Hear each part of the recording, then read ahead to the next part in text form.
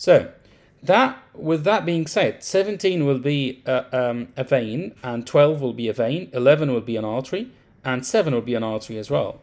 Started by number 7, this is the common carotid artery. And 11, that's the facial artery, which is a branch from the external carotid artery.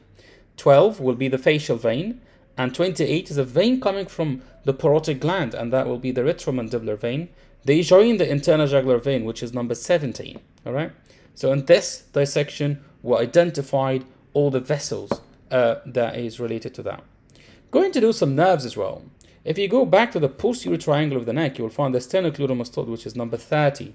If a nerve is superficial to that muscle, that would be the uh, great auricular nerve. And a nerve deeper to this muscle, which is number 19, as you can see, this big nerve, this is the spinal accessory nerve. So 13 is great auricular, and 19 is the spinal accessory